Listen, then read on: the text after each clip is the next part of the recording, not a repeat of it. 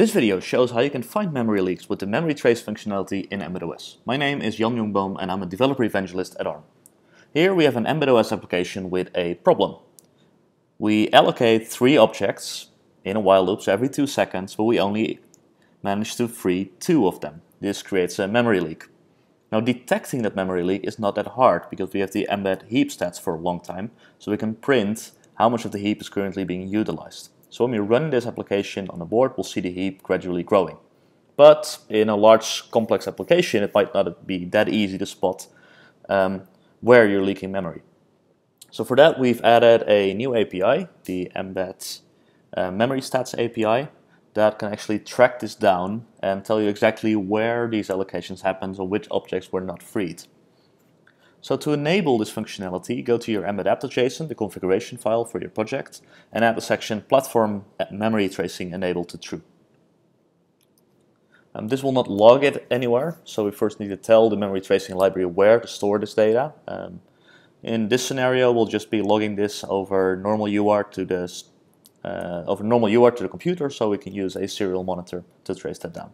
When we now run this application on this dev board, uh, we go to a serial monitor with first see the threads, and after that we'll see uh, messages from the memory tracer that are prefixed with um, the hash.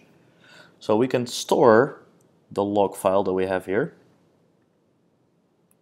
and now use the mbed find dangling pointer script to get an insight in which pointers were not freed and where they were declared. So after installing mbed find dangling pointers, we can call it the first argument that we're going to pass in is the log file from the serial monitor, which I just stored. And the second argument that we're passing in is the ELF file, which contains the debug symbols. So this gives us, in this case, um, six dangling pointers of a total of 4.6k. Um, so we see the memory address here, and then we see the size of the pointer. So if you have a debugger attached, you can use this to actually see what's inside. And very helpfully, it also tells us where in our code this happened. So in this case, we see that we forgot the free pointer 2, and there's currently six of those dangling. So that was quite a simple program, but let's look at something uh, more complex. This is an HTTP example using Mbed HTTP, or HTTP HTTPS library, and it also does networking operations.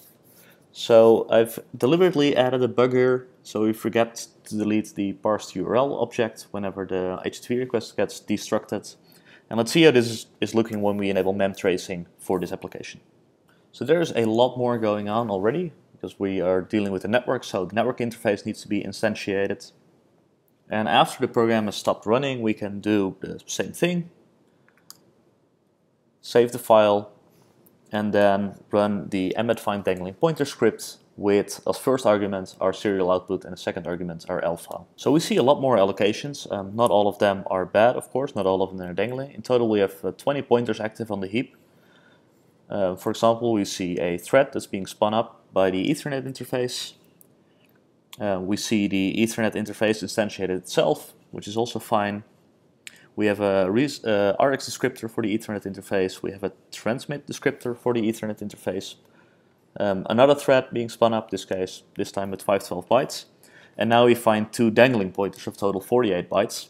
And that is actually our parse URL um, structure. And that is something that needs to be freed after our HTTP request is freed. What's interesting is that if you scroll down to the allocation after, is that within the parse URL class, we also do some allocations in total six times for 52 bytes. Um, and that happens on the calloc line. And because we're not clearing this parse URL uh, structure, um, we see that those are dangling as well. So it's a little bit more than just the parse URL class itself. Then if we're looking through, we actually see uh, yet another calloc allocation in the parse URL class. And then below we see that our DNS cache is now being populated with another pointer for a total of 40 bytes, which is actually okay. So, I hope this video has given you some insights in how the memory tracing functionality in Mbed OS can give you any insights in where you might be leaking memory. Thank you.